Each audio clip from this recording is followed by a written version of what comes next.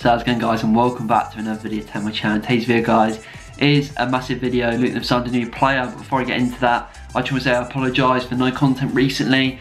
I think the last game was about two weeks ago. Um, that was the last sort of video in a sense, although it was a stream. The actual last proper video I've edited and actually like properly uploaded in a different format. I think it's been since March, so I apologise for that guys. Obviously I've been doing a lot of college work recently, assignment work. Also been doing a lot of work for McDonald's, as you guys know I work for McDonald's.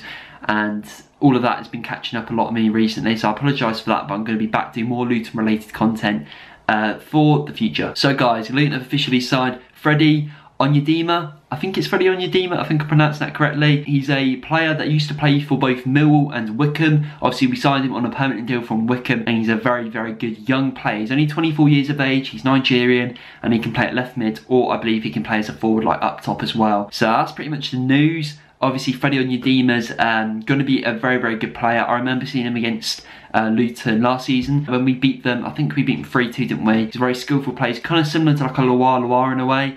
Um, that sort of type of player, skillful, fast, good on the wing, good up top, etc. And I think he's going to be a great addition to this Luton Town side for the 2022 season. Obviously, there is other news, like, I mean, James Collins has left and gone to Cardiff, Matty Pearson has gone to Huddersfield. There's so much more to talk about, but my plan is, after this video, I'm probably going to film a video in the coming days, like a transfer-related video, not as much about Freddie Onyedinma, but I mean about James Collins, uh, Matty Pearson, Peter Kioso coming back from Northampton, obviously he was on line there, and also players that are linked to join Luton as well. Obviously there's a few names have been said like Barry Bannan, etc. But I'll do that in a separate video. Today's video is basically based around Freddie Onyedinma and how he could pretty much change his Luton side for next season. So guys, that's pretty much today's video. It was pretty much just a video in relation to Freddie Onyedinma and him becoming a Hatter. Let me know in the comments below guys what you think about this signing. I think he's a great addition to the team. I've heard of him before. I've seen what he's like at Wycombe, and I think he's going to be a star for Luton Town. I believe he's our new number 23 and I think he will be,